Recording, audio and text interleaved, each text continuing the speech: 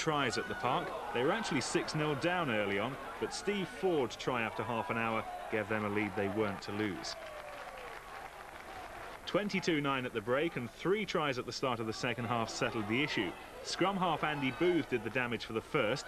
Ford's again on hand to provide support as Booth starts to splutter and it's Emyr Lewis who smuggles the ball over.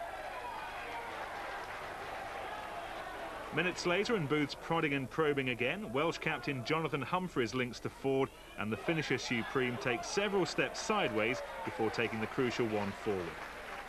And if a move's worth doing once, it's worth doing twice. A carbon copy from Booth frees Ford for his hat-trick.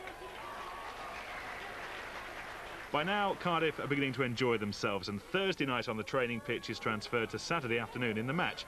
A touch of fortune as the ricochet goes their way, but seven passes later they score. Replacement Howard Stone.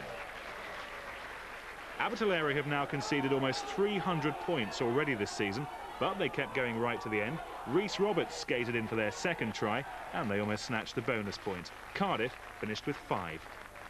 Well, Cardiff sit out next.